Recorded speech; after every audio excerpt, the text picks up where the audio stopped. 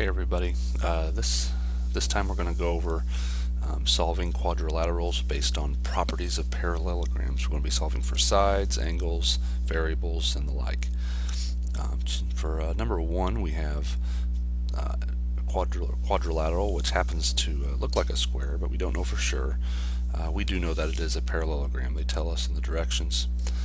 And one of the properties of parallelograms is if you have one right angle, you have four right angles. So to solve for x and y, we can set each of those equal to 90.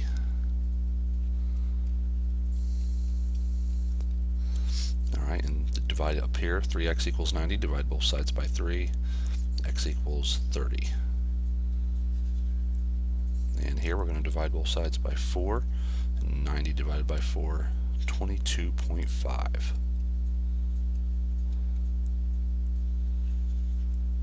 Okay, and number two, um, we are dealing with a parallelogram. One of the properties is opposite sides are congruent, so we can set 8y equal to 88 and solve for y that way. We're going to divide both sides by 8 and y equals 11.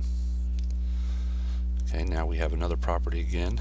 190 degree angle, all four angles are 90 degrees. We can set that 6x equal to 90. If we divide both sides by 6, 90 divided by 6, 15. Alright, on uh, number 3, uh, parallelogram, opposite sides are congruent, and by these tick marks or notches, we know that in this case all four sides are congruent. Uh, we can first solve for x by setting 6x equal to 12. Divide both sides by 6, x is 2.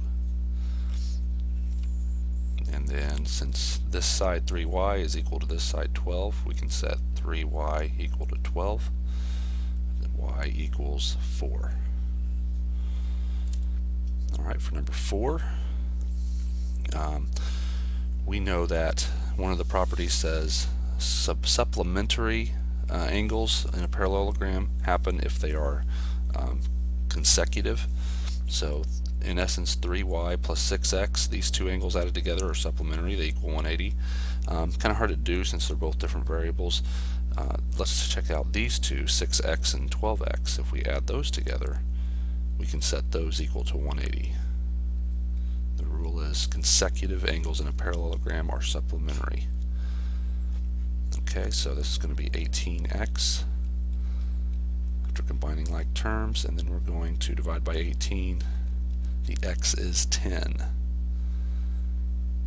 Okay, now we can also use another property of the opposite angles being congruent.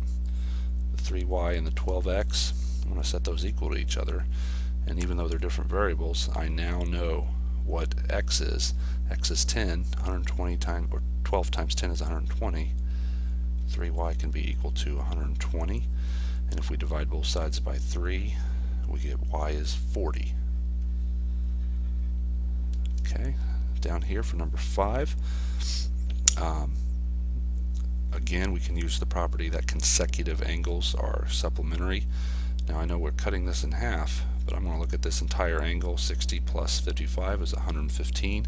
I'm going to add it to 5x, and then I'll set it equal to 180 because I know they're supplementary. Uh, subtract 115 from both sides. 180 minus 115 is 65. We'll divide both sides by 5. x is 13. So now I solve for x.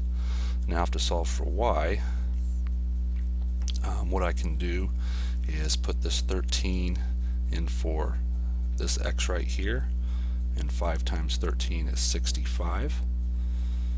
And now I can set the 2y equal to the 65 and solve for y that way because opposite angles in a parallelogram are congruent. Dividing both sides by 2, y comes out to be 32.5 degrees.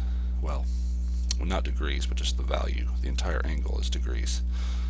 32.5. Alright, uh, property for number 6, the property that opposite sides are congruent um, will help us solve this. I'm just going to set this up for you. 30x equals 150. We can solve for x, and then we can set 2y equal to 72x and plug in x from there.